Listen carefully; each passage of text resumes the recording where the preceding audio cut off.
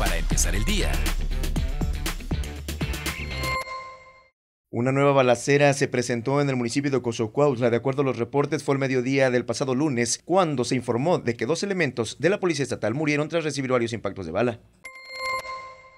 Se registró otro feminicidio más en Chiapas durante los últimos días, sumando un total de ocho en tan solo 13 semanas. Ocurrió en el poblado de Ignacio Zaragoza, en el municipio de La Concordia.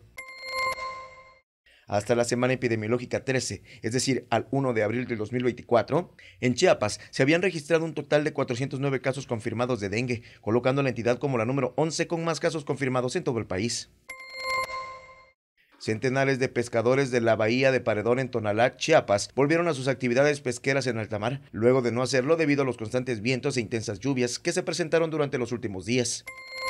Continuarán las altas temperaturas en Chiapas. De acuerdo a la Comisión Nacional del Agua, se pronostican temperaturas de hasta 42 grados, con una sensación térmica de 45 grados. Se contempla que sea la segunda ola de calor de las 5 que se esperan para este 2024. Para empezar el día,